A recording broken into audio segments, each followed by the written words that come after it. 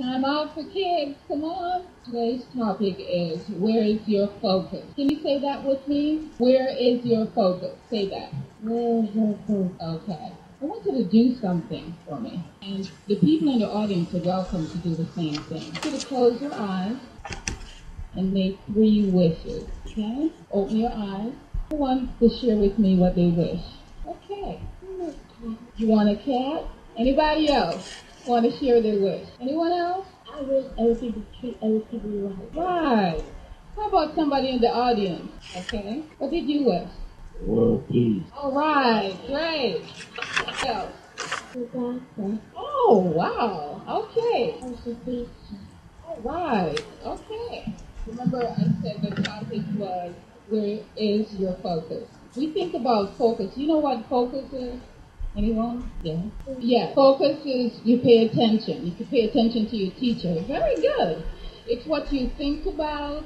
It's what you concentrate on. Okay. Let me ask you this question: Have you ever got caught doing something you knew was wrong? Anybody? Oh, come on! I have. We all have. Okay. Have you ever felt like a knot in your stomach? Anybody? When you do something wrong? Yeah. Okay.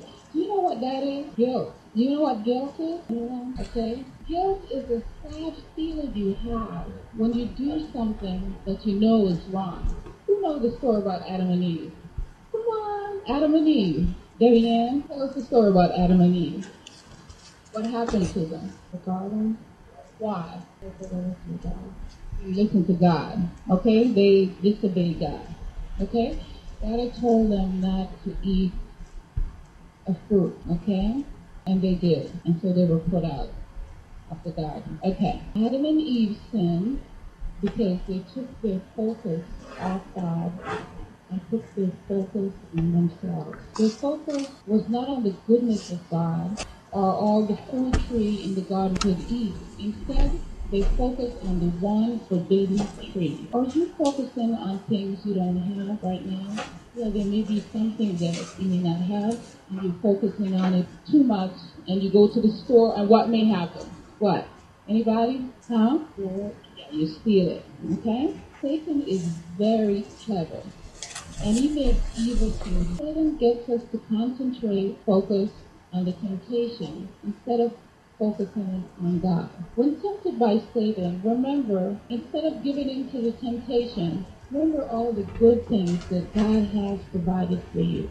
What are some of the good things God has provided for you? One. He gives you what? Food and what else? Food for you. Yes. What else? Clothing. What? Yes. A family. Anybody else? Dear. Yes. Orange juice. Right. All right. If you give in to the temptation, what do you think you should do? What should you do? Do you know? Well, you know, Adam and Eve did something. They did two things that were wrong. You know what they did? They blame other people. And they hide themselves from God. Okay? When we do something wrong, if we give in to a temptation, we don't want to blame other people and we don't want to hide from God. Okay? The good news that we have is Jesus Christ. What did He do for us? Anybody? What did He do for us? He died for all of our sins. So if you committed sin, do you know what a sin is? I mentioned this before, but do you know what a sin is? A sin is when you disobey God's rule. You break a rule. You break your rule. Your mom and dad says don't do what? What might they say? Don't do. Somebody. Don't run in the house and you do that. You're sinning. Okay? Don't play ball in the house. Right. Don't play ball in the house. Okay? And if you do, then you anybody else? Alright. So we need to run to God when we do something wrong. Confess means we want to agree. We agree with him and we admit that we're wrong. And we ask him to forgive us. You know, when Satan is trying to get you to do something wrong, do you know that? Do you know when he's trying to get you to do something wrong? Oh, come on. What I said about that knot in your stomach. To get you to take the ball in the house. Yeah. Even though your parents says not to clean the house. Right. Okay. Well, there are things you could do to protect yourself. What are some of the things you, you think you could do to protect yourself? Okay. All right. That's good. It's very good. You could pray. What else? Read your Bible. What else? What else? Anything else? Okay. You listen to your mom and dad. Okay.